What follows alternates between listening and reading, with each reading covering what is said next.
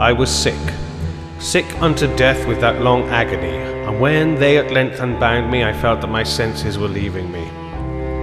The sentence, the dread sentence of death, was the last of distinct accentuation which reached my ears. After that, the sound of the inquisitorial voices seemed merged in one dreamy, indeterminate hum. I heard no more, yet for a while I saw the lips of the black robed judges. I saw them fashion the syllables of my name, and I shuddered because there was no sound.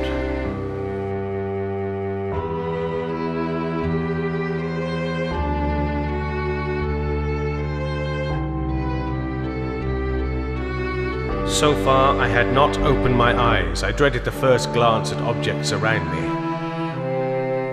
My worst thoughts then were confirmed. The blackness of eternal night encompassed me. I struggled for breath. The atmosphere was intolerably close. But where and in what state was I?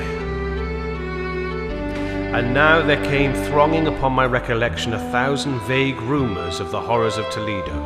Of the dungeons there had been strange things narrated, strange and too ghastly to repeat.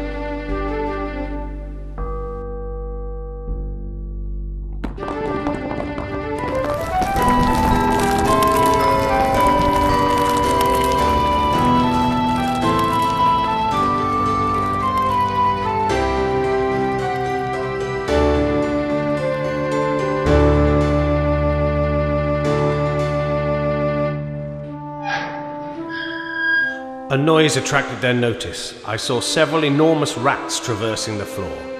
Even then, while I gazed, they came, hurriedly with ravenous eyes, allured by the scent of the meat. I put forward my arm and shuddered to find that I'd fallen at the very brink of a circular pit.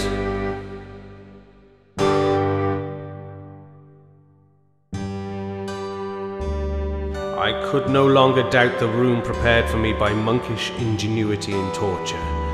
The plunge into this pit I had avoided by the merest of accidents.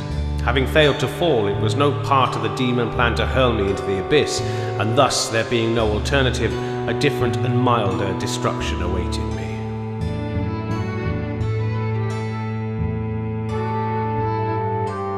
Looking upward, I surveyed the ceiling of my prison.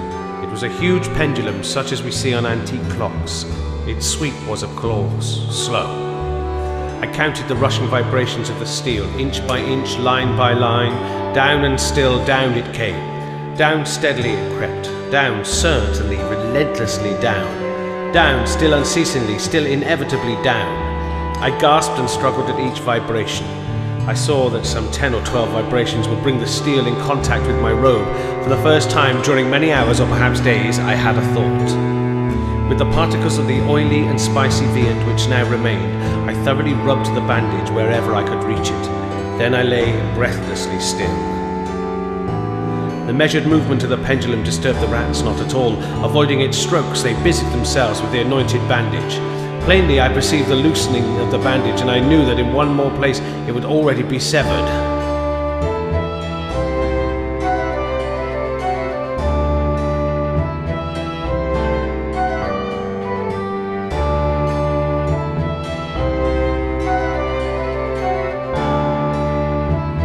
For the moment at least, I was free.